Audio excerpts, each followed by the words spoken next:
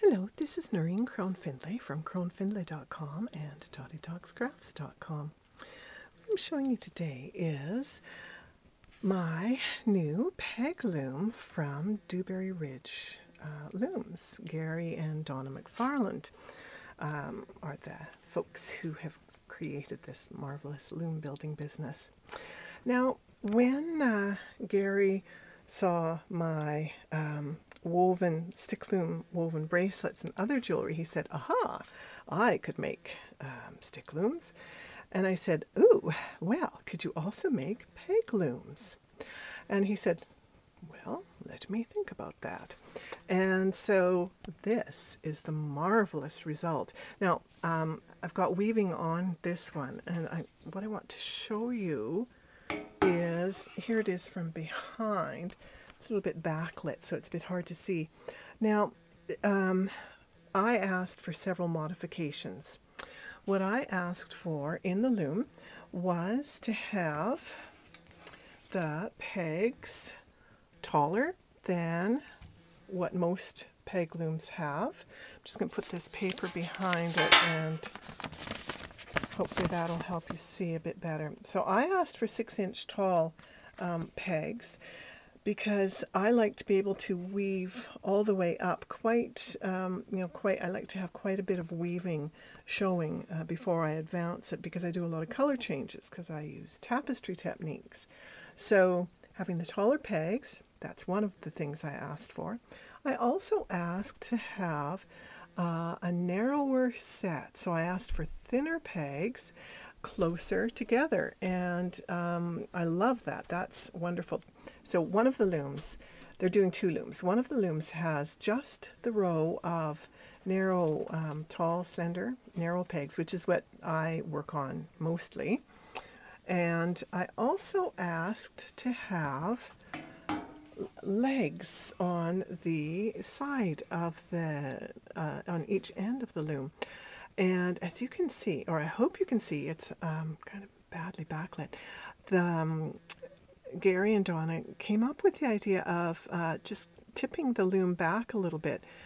And oh, that is just marvelous. It's just fabulous. I love having it tilted backwards because that makes it um, ergonomically just exquisite. And the, the legs that Gary designed for the loom are so elegant. They're just gorgeous. Now, oh, oh, oh, and another thing that Gary came up with that I think is brilliant is, I'm going to take a chance and just tip my loom over. Uh, you can see that there are screws in the bottom of the loom and I don't know if you can see the, the line. Um, he made the bottom of the loom removable so that you can, if one of your pegs gets stuck, you can then just unscrew the base and um, pop the peg out, which I thought was just brilliant. Now, the other thing I asked for was um, to have a, I'm going to hold this against um, paper. I wanted them to um, have uh, also a really nice um, threader. And uh, so Gary, I designed a very crude and simple one. And then Gary, of course, came up with a much more elegant and beautiful um, threader. So, yay, that's gorgeous. Now, uh, something that they're doing that I think is very clever is because postal rates have gone so sky high, they're going to ship the looms flat and um, they'll include this handy dandy little jig that you put on the underside of the loom.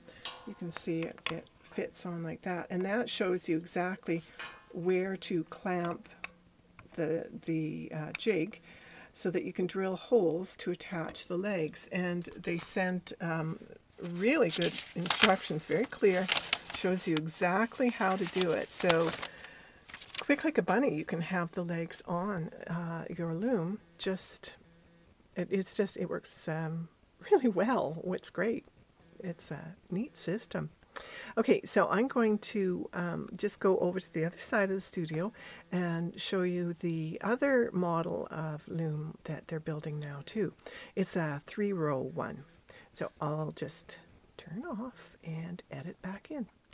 Okay, so I've moved across the studio to my other Dewberry Ridge uh, peg loom and you can see it has three row, rows of holes and uh, I'm working with the center row of very fine holes, the smallest, slimmest pegs. And I have put my the legs onto this one with um, the medium-sized holes um, at the front.